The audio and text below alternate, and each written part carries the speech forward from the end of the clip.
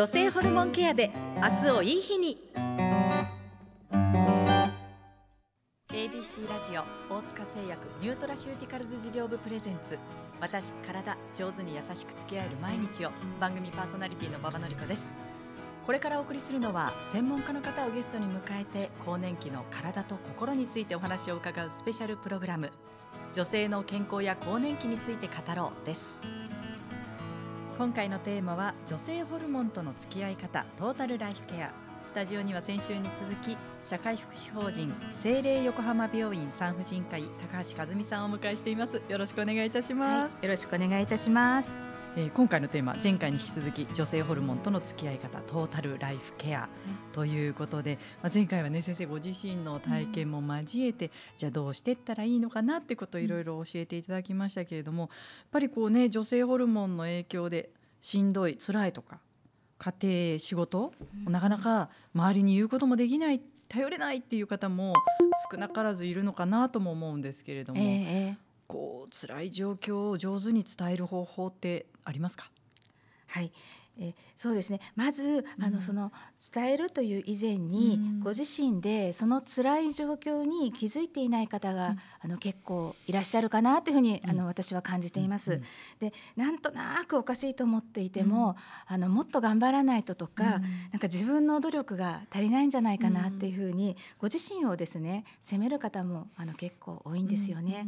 で更年期とその症状を理解するだけで楽になることもあのありますのあるってことをまず知っていただきたいですね。うんうん、この更年期っていうのはそういうふうに俯瞰するというか、うんうん、客観的に見るってことがあのすごくあのいいことなんじゃないかなっていうふうに、うん、はいあの感じています。それあれですか、はい、こうどうしても自分のことを後回しにしてしまったり、えーえー、自分が我慢すればってしちゃうところをはたかみいや十分あなた具合悪いでしょって思えるってことですか？はい、はい、もうここが悪いじゃないかとか、うん、あともうね頑張ってるよとか、この辺はこれぐらいでいいんじゃない？みたいな感じでですね、あのもう自分ではなくてちょっとねこう上からこう見るっていうのはあのすごくいいんじゃないかなっていうふうに、ね、はい思います。じゃあそのまずは自分を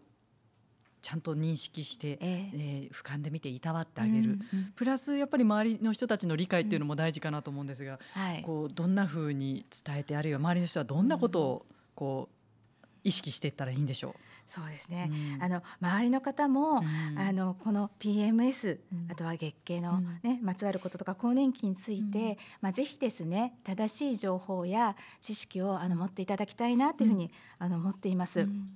であの、まあ、気をつかなくていいように声がけをしていただいたりとかですね、あのまあ、頑張ってるよねっていうふうに、あの声かけるってことも、あのすごく大事ではないかなというふうに思っていますね。はいあとはそうですね。あの、まあ、まあご家庭とか職場で、まあ、更年期なんですよっていうふうにちょっと言えるような雰囲気といいますか、うん、普段からあのいいチームワークを、ね、連携をしていて、うん、そういったことを言いやすいっていうような環境にしておくっていうのも、うん、大事かなというふうには思います。でもやっぱり職場の理解って大事ですよね。大事ですね、これ私の経験なんですけど、はい、ちょっと1回2回言っちゃうとその後って言いやすいんですよね。で私とかも言い過ぎちゃって、あの本当に更年何でも更年期のせいにするなってこう 夫から ちょっと言い過ぎちゃって、注意された時もあるんですけど、はい、あの本当にちょっとね勇気を出して、最初こう言ってみると、あの意外に言えるなっていうのは気づかれると思います。あの自分の体を相談できる婦人科のかかりつけ医っていうのも大事じゃないですか。先生もともとそのハードルを下げたいっていう思いでね、えー、いろんな活動をされてる。はい、もう本当馬場さんのおっしゃる通りで、はい、あのぜひですねもっと気軽に婦人科を受診していただきたいなっていうふうに本当心から願っています。うん。ね、はいまあ、更年期の場合、うん、更年期の症状で悩んでてっていうのをやっぱり受付で最初に伝えるのがいいんですか？そうですね。あのまず、あのポイントとすると、うん、そういった更年期に関する、あの外来をやってらっしゃる病院さんを、はい、まあ、こうホームページとか、はい、いろいろネットとかで調べたり、あとお友達から聞くとかですね、まあ、調べてでそこのあのホームページを見ますと、こういう形で予約してくださいとか、いろいろ書いてあるじゃないですか。はい、で最近ではですねもうその事前前の問診票とかがそのホームページからダウンロードできるようになっていたり、はい、あとは本当にネット上でこう入力できるようなところもあるんですよね。で、まあ、そこに入力したりあとは実際に行かれてこう問診票っていうのを渡されますから、はい、そこに書いてくださればよろしいかと思います。はいそうですね。ガチガチにこう構えていくよりも、うん、なんかとりあえず行ってみようみたいな、うん、あの気持ちがあのいいかなって思いますね、うん、はい、こうやっぱり気になることとかっていうのは事前に整理していった方がいいですか、あはい。あのそれもあのこうやらなきゃってことじゃなくてですね、うん、まあちょっと聞きたいななんてことをメモ程度に書き出していただいたりとか、うん、あとまあ婦人科ですので、はい、大事なのはその月経の最後の,、あの生理はいつだったかとか、はい、あと周期はどうですかとか、量は多いですか、少ないですか、あとお痛みはありますかないですかとかそういったことですよね。はい、あとそれからそれにまつわる PMS の症状がありますとか、こんな更年期っぽい症状が気になってますとか。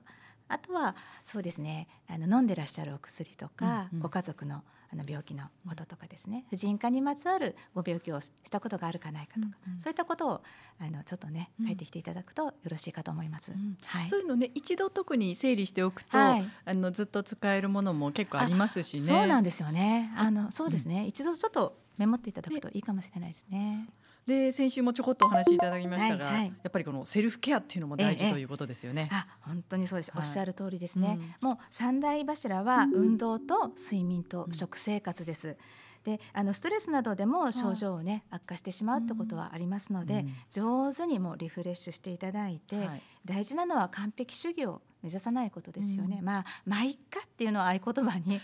はい過ごしていただく。うん、であとは本当にまあ例えばえー、食生活なんかですと、うん、朝食を抜かれてる方とか、はい、あと朝食に関してもあのパンとコーヒーだけとかですね、はい、うん、あとお昼はまたさらにパスタだけとか、はい、炭水化物多めの女性が結構多いんですよね。で圧倒的にタンパク質とか、あのお野菜とまあ、食物繊維とか、うん、あと本当微量元素とかが足りてないんですよね、うんうん、なのでそこはちょっと意識された方がい。いと思います、はい、あとはあのそのカフェインを控えていただく、はい、それからあのアルコールですね、はい、もうほどほど。そうそう、まあこれ本当にやめようじゃなくてほどほどですよね、そうですね。はいはい。あと禁煙。この辺はまあ生活ではね気をつけていただいて、でなるべくまああの運動もウォーキングとか何でもいいですのでご自分ができるところから始めていただけたらと思います。馬、場、さんなんか運動されてます？私は、えええっと階段があれば一段飛ばしでえっちらおっちらですよ。あの全然あのポンポンはいけなくてえっちらおっちら上がるっていうのとか、あとはテニスするとか。あとはストレッチと地味な筋トレを週1ペースで習ってる、すごい。もうでも本当にそれで十分だと思いますね、まあその調子で、まあ運動とかしていただくといいと思います、先生ストレス解消法っていうのはどんなことされてるんですか？私はですねもう本当に寝るのが大好きなので、もう寝ること、もうもう寝るからっていう感じで宣言しながらもよく寝ます。であとはあの家族や気の合う友人と、もう美味しいものを食べることですね。一緒です。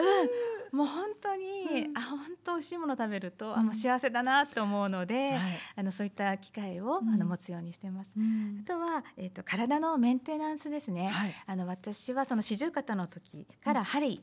に通い始めて、あのメンテナンスで今でも月に2回ぐらいですね、針に通っています。あとはマッサージ、はい、まあ他力本願なんですが、マッサージに行ったりとか、あと温泉に入ったりとか。そういったことをねあのしてセルフケアという形でしています。はい。はい、だからセルフケアだからって何でもかんでも自分でこなさなくても 時には人の力やプロの手を借りて、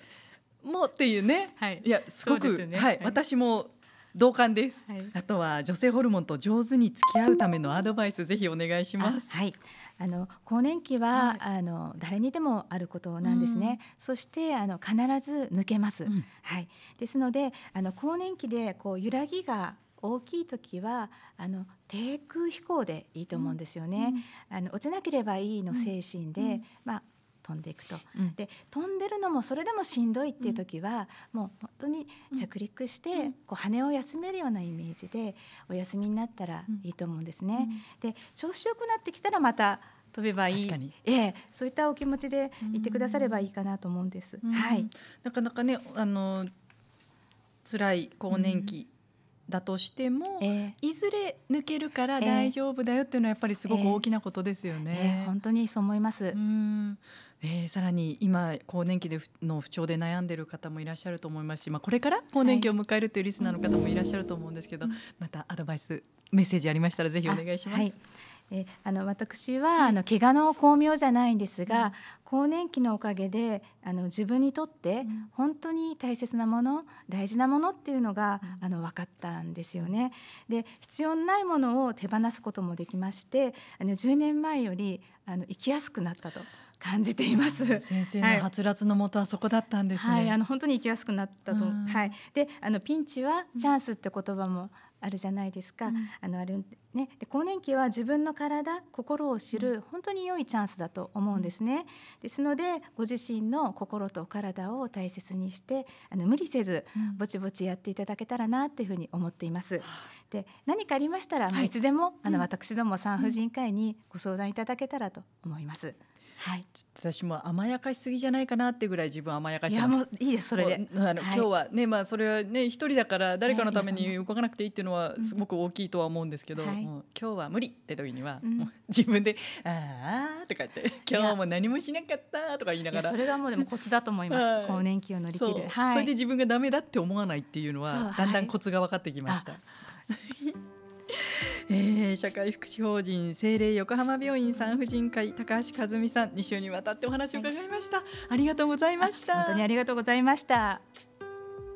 お送りしてきました女性の健康や更年期について語ろう。この番組は専門家の方をゲストに迎えて更年期の体と心についてお話を伺うスペシャルプログラムです。